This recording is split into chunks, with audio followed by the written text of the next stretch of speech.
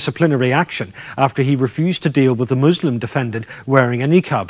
Zubia Hussain appeared at Manchester Magistrates Court with her head and body covered. Only her eyes were visible.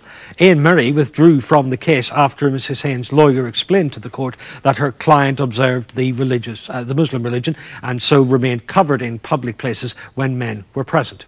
Now, this is already, you'll know, a controversial issue in schools and in workplaces. So, what about the courtrooms? Should defendants be allowed to wear Muslim dress, which makes them unrecognisable? Um, Sarfraz, I'll bring you in on this. First of all, you're not a scholar, but this is all about the interpretation of religious teaching. Was the interpretation in this case right? Is it that strict? Well, I think there's two things about that. One is, is it right to say that she was wearing Muslim dress? And um, I would disagree with that.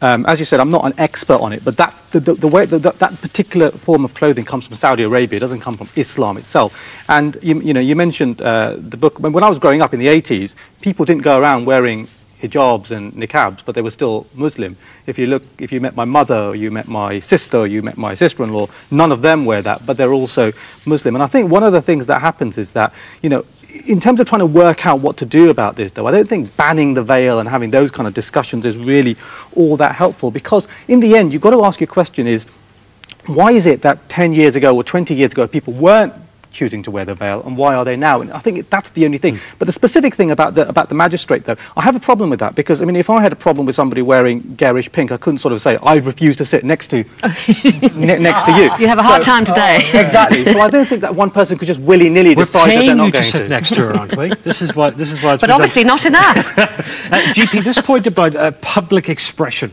of religious belief. Is this something that is happening more often now, or is it simply something that is being reported on more often? Uh, you've hit it twice there. It's happening more, and we're getting Christians who are now wanting to wear their heads covered and various things like this to be seen to be holy and different and set apart. And also, it's being reported on more by the press, and the press are seizing on this.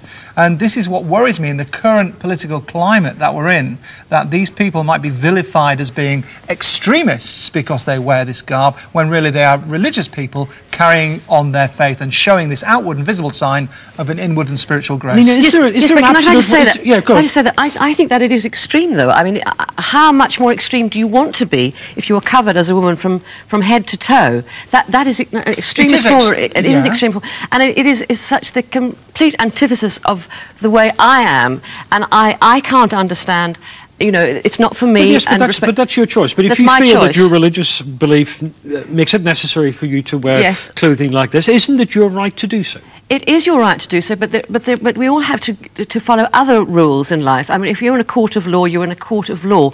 Uh, for instance, if you go through passport control, you have to have your face, you know, visible to the officer who, you know. So there are certain rules you, you cannot just blindly follow and dictate, this is what I believe, so therefore this is what, you know, just that's that, exactly what you were saying. Yeah, that is a good mm. point. I think the other thing to think about is why is it that this particular reading of religion is common and getting more popular? Mm. Do you know what I mean? Why is it that right now people want to create what looks like a visible sense of separation? I think battle lines are being drawn. I think people want to. Uh, I think people are angry, people are hurt, people are frustrated, and therefore they are they are they are arming themselves for battle. But the kind. worrying thing, Nina. This is my team, and this is what this, you know. The worrying thing for me, I come from a, a very nice seaside town, and we are seeing the BNP rising in popularity amongst what you class as sensible people and covering articles like this will just give them more ammunition. No, but I don't think that's true because I don't think you, you uh, by closing down debate you don't get anywhere. So I think that the, the, what, the, what you need to do